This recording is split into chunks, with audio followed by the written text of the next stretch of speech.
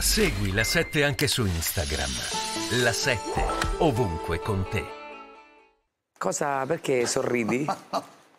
Perché io non pretendevo da Draghi tanta autocritica, nel senso che se c'è un paese dove le interviste ai ministri le fanno con le domande prima e non c'è un contraddittorio è proprio questo, che proprio perché è libero fa sorridere che lui l'abbia detto, se toglievi la parola a Lavrov sembrava che parlasse delle interviste di speranza durante il Covid. Buonasera, c'era tutto il paese chiuso in casa, le aziende chiuse, i bar chiusi, buonasera, cosa ne pensa del Covid?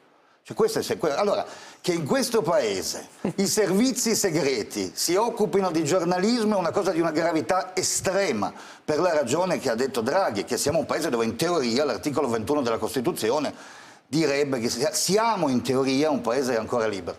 Un collega che fa un'intervista al ministro degli esteri di un paese che ha dichiarato guerra e invaso l'Ucraina, durante la guerra in Ucraina, ma credo che in qualunque posto del mondo dove la libertà di stampa non è solo un gioco di parole, dovrebbe essere applaudito.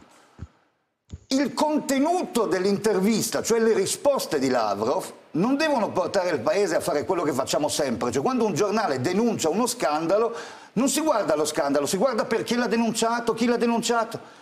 Cioè lui ci ha mostrato per la prima volta in Europa un ministro che tra l'altro abbiamo sentito sproloquiare per ore in conferenze stampa che hanno inondato le televisioni in Turchia, in Russia, dire qualunque cosa, ha fatto la prima intervista in, con delle domande poi possiamo discutere delle domande. Io non lo faccio, sono un giornalista, perché se discuto di quelle, no, discuto di una bravo. miriade di interviste Bravissimo. fatte in questo così, paese cioè... negli ultimi anni che fanno venire il voltastomaco abbiamo assistito a qualunque sceneggiata. Questo è il problema, Quindi, può pensare tutto allora, che vuole, invece a me che cosa, cosa, mi ha colpito a me? Mi ha colpito questo signore. No, questa intervista ci ha dato modo di vedere la mutazione profonda che un uomo che questo paese aveva conosciuto come un mediatore, come una colomba, come il volto buono del putinismo, con cui abbiamo intessuto 15 anni di rapporti commerciali, politici, economici, che ha cenato, pranzato e telefonato con tutti i ministri e i presidenti del Consiglio degli ultimi 15 anni,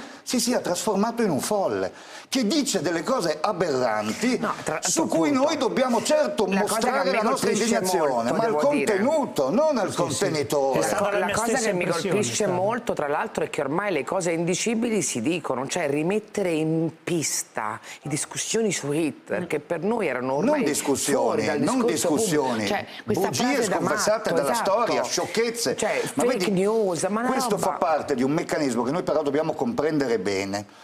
Quando un paese, l'Italia, come tanti altri paesi d'Europa, vive un momento di disagio, vive un momento dove molte persone stanno male, dove il mondo che hanno intorno non lo riconoscono più, la tendenza a credere a ciò che fa cambiare questo mondo, che come la magia lo trasforma in qualcosa di bello e naturale.